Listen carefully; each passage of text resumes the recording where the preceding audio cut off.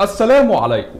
معانا خبر عاجل جدا في الوقت الحالي. تعالوا نعرف تفاصيل هذا الخبر الهام جدا. عرض اليوتيوبر الإعلامي محمد أنديل تسريبات للإعلام الإخواني الهارب عبد الله الشريف بالصوت والصورة حول علاقة ما بين عبد الله الشريف وبنت عندها 20 سنة لسه عيلة صغيرة. وفي التسريبات دي بيحاول عبد الله الشريف إنه يستقطب البنت أو يحاول تغريرها. يعني إيه تغريرها؟ يعني يستقطبها لعلاقة محرمة بينه وبينها. ده طبعا عبد الله الشريف. وطبعا في التسريبات دي في عبارات مخجلة جدا من عبد الله الشريف. تضمنت عبارات إباحية للأسف. كما تضمنت التسريبات مقاطع مصورة وصورا حية بالصوت والصورة. لا يمكن إنكارها. وطبعا تسجيلات صوتية. تباهى عبد الله الشريف بعدد المتابعين للفتاة عشان يعني يطمنها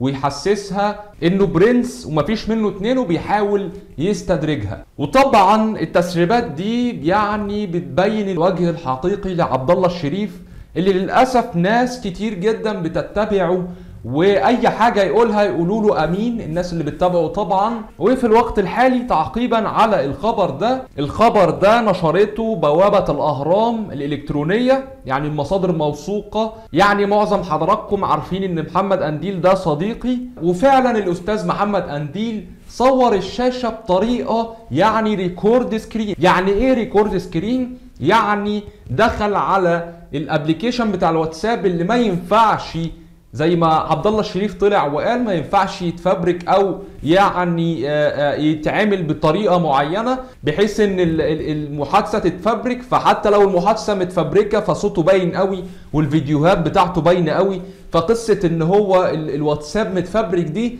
قصة يعني مستحيل حد يصدقها إلا الناس السذج اللي دايما ماشيين وراه وحابين إن هم يقفلوا دماغهم أصلا وما يسمعوش للمنطق ولا العقل. هم مصدقينه واثقين فيه بطريقة غريبة جدا.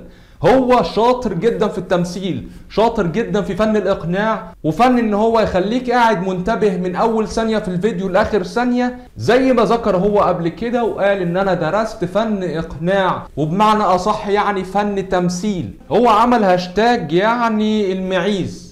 أو الناس اللي بتتكلم أو الناس مثلا المؤيدة للدولة المصرية. ناس عادي بتحب وطنها يعني الدولة المصرية بتحب. مين مصري ما بيحبش مصر ولا أرضه؟ بعيدا عن الحاكم دلوقتي. مين ما بيحبش وطن؟ مين مصري ما بيحبش مصر؟ فهو أطلق على الناس دي معيز. الناس اللي تحب بلدها سماهم معيز. فاهمين قصدي؟ ولكن للأسف المعيز الحقيقيين هم اللي ماشيين مغيبين بيقولوا له حاضر وأمين على كل الكلام. اللي بيقوله وفي الوقت الحالي عمل الفيديو بتاعه غير مدرج. يعني إيه غير مدرج؟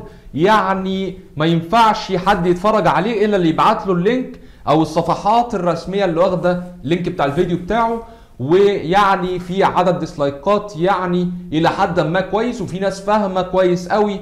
عبد الله الشريف ده على إيه؟ أنا مش بقول لك تابع الإعلام المصري ولا تابع قناة مصر ميديا. صحيح بمناسبة قناة مصر ميديا آي بي هي عبارة عن قناة إخبارية. أنا طالع أتكلم بس كواحد مواطن مصري عادي بيحاول إنه يفكر أو يسعى للحقيقة. فيعني حياته كلها فضيحة. فعبد الله الشريف معروف عنه إنه بينشر الفكر الإرهابي وقد إيه يعني هو برر لعشماوي الإرهابي وإزاي انقلب على الجيش المصري. فعبد الله الشريف بينشر أخبار كاذبة وينشر مواضيع كاذبة مفبركة بطريقة فن إقناع جيدة.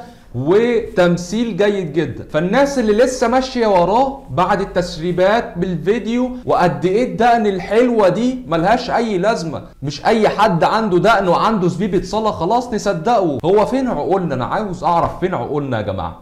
آه بعد إذنكم يعني حاولوا تتحققوا وما تسلموش دماغكم لأي حد. يقول لكم أي حاجة. بس الصراحة رأيي في محمد أنديل إنه قصف جبهته ويعني سكته. وعبد الله شريف لما جه يدافع عن نفسه بين نفسه إن هو كذاب أكتر. فاهمين قصدي؟ فتحية كبيرة لمحمد أنديل الإسكندراني الجدع. وكان معكم إسلام إن شاء الله. انتظروا الأخبار العاجلة على مدار الساعة إن شاء الله. ما تنسوش تشتركوا في القناة وتفعلوا زر الإشعارات عشان يجيلكم كل جديد إن شاء الله والأخبار العاجلة على مدار اليوم. كان معكم إسلام والسلام عليكم ورحمة الله تعالى وبركاته.